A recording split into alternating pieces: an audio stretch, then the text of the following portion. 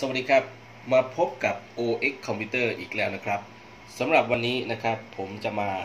สาธิตนะครับ การใส่กระดาษต่อเนื่องนะครับสำหรับลูกค้าที่ยังไม่เคยใช้เครื่อง dot metric นะครับที่เป็นลักษณะของการใช้กระดาษต่อเนื่องนะครับ ตัวนี้ มาเริ่มกันเลยนะครับ ก่อนอื่นนะครับ ท่านจะต้องมีกระดาษตัวนี้ซะก่อนนะครับ เราเรียกกระดาษแบบนี้นะครับว่าเป็นกระดาษต่อเนื่อง ซึ่งจะกี่ชั้นนะครับก็ขึ้นอยู่กับที่ท่านซื้อมานะครับ ในตัวอย่างนี้นะครับเป็นกระดาษต่อเนื่อง 3 ชั้นนะครับมีริบบอนนะครับขั้นกลางนะครับ การใช้งานนะครับนะฮะ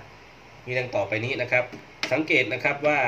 อ่าตัวที่จะพากระดาษต่อเนื่องเนี่ยนะครับ ถ้าเปิดออกมาเนี่ยนะครับก็จะมีจุดอย่างนี้นะครับเกิดขึ้นนะครับ ให้ท่านเนี่ยนะครับ เปิดสักฝั่งก่อนก็ได้นะครับ จากนั้นใส่ลงไปนะครับ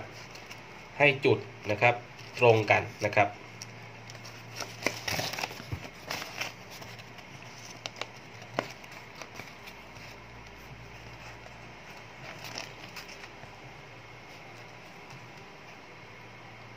แล้วก็กดลงไปนะครับ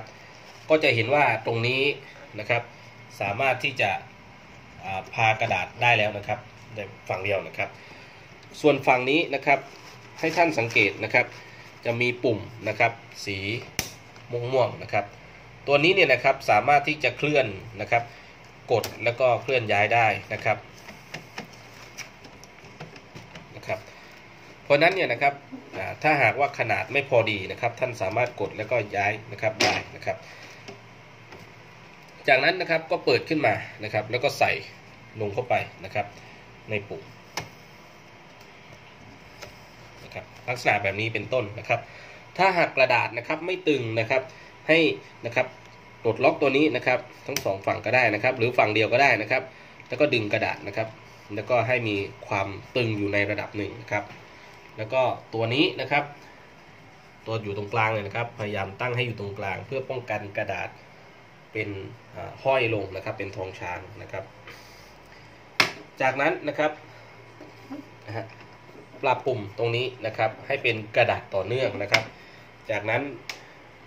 นะครับให้ทำการเปิดเครื่องขึ้นมานะครับนะครับ นี่คือรูปแบบนะครับตัวอย่างนะครับที่ใส่กระดาษต่อเนื่องเข้าไปยังตัวเครื่องนะครับ